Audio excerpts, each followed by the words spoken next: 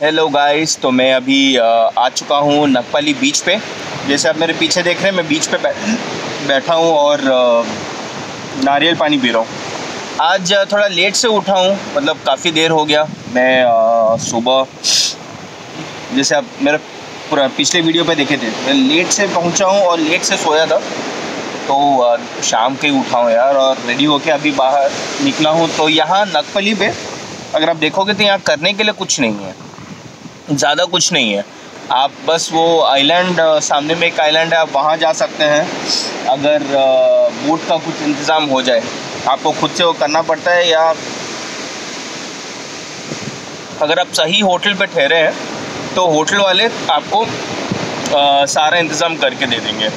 मैं अभी स्टे कर रहा हूँ वी स्टे चिलैक्स हाउस में। ये हॉस्टल है। शायद एकमात्र हॉस्टल है यहाँ का। और वहाँ पे जब उसको पूछा, यार बोट राइड का कुछ इंतज़ाम कर पाओगे क्या? तो वो बोला कि, नहीं यार, अगर बड़ा ग्रुप हो, तब हो पाएगा, वरना छोटा ग्रुप में ये लोग नहीं करते बोला, यार, छोड़ो इट्स ओके और यहाँ पे ख़र्चा काफ़ी ज़्यादा है।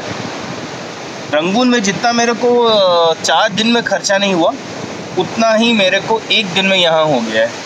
मुझे आने के लिए यहाँ हज़ार रुपये लगा और यहाँ से निकलने के लिए कम से कम दो हज़ार लगने वाला है। वो है थर्टी एट थाउज़ेंड चट।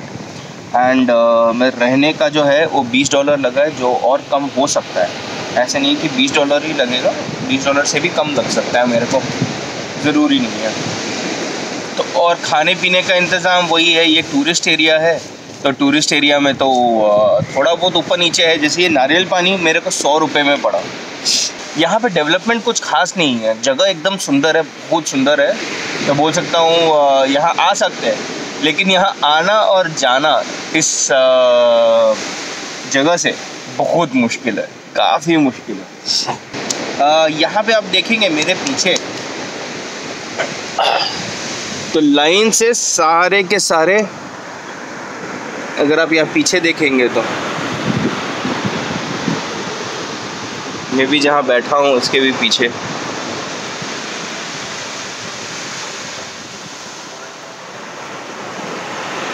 यहाँ पे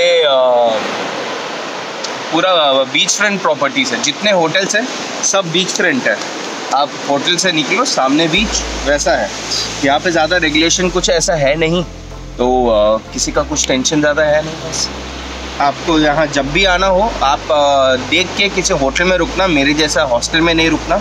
अगेन, ये मैं अपना इन्फॉर्मेशन वीडियो बनाता हूँ बोल के, इसलिए मैं मैं हॉस्टल में रुका, ना ही होटल में। आपको हॉस्टल में रुकने का ज़रूरी नहीं है। आप आराम से आके होटल में रुक सकते हैं। यहाँ पे आपका ले लेते हैं हाँ पंद्रह सौ के ऊपर, पंद्रह सौ से शुरू है।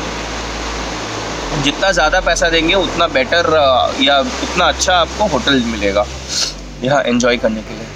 तो मैं हूँ अभी बीच पे, काफ़ी मज़ा आ गया। यहाँ ने वर्थ इट है। मेरे लिए वर्थ इट है।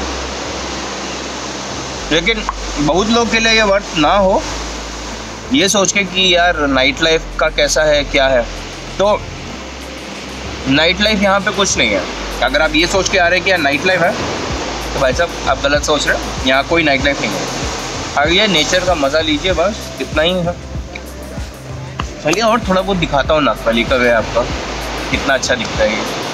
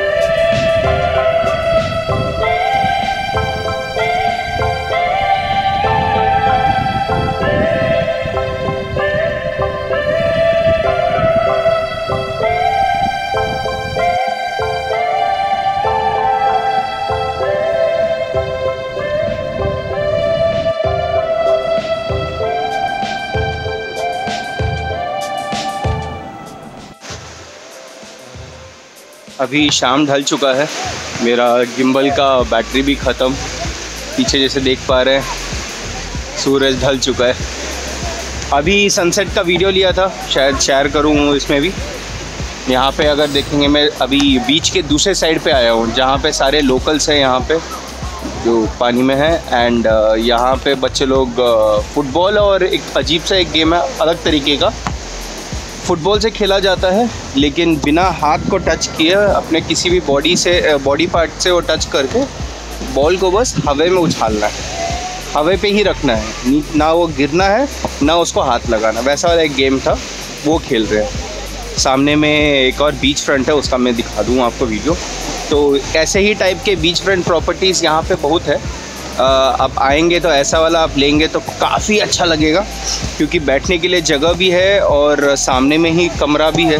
तो जब मन किया आप चले गए आ गए, जब मन गए आप वापस रूम में चले गए, बीच और ये एक्सेस आपको एकदम सामने सामने है लिटरली आपको दिखा दूँगा अभी थोड़ी देर में। मज़ा आ रहा है।